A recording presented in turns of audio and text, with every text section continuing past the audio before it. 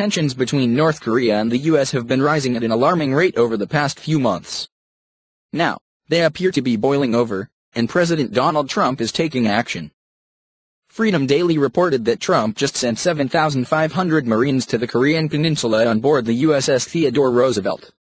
He did this after rumors swirled that North Korea is preparing to fire multiple short-range rockets around the opening of the Chinese Communist Party's twice-a-decade Congress on October 18.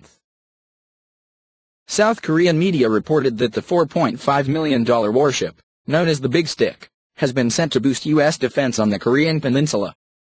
It is expected to arrive in the region in the next few weeks. The USS Theodore Roosevelt will be joining the USS Ronald Reagan, which is already in the region. Admiral Steve Koehler, a strike group commander on the ship, released a statement saying 7,500 sailors and Marines on board are ready as a warfighting force. The U.S. Navy carrier strike group is the most versatile, capable force at sea, he said in a statement before the ship's launch.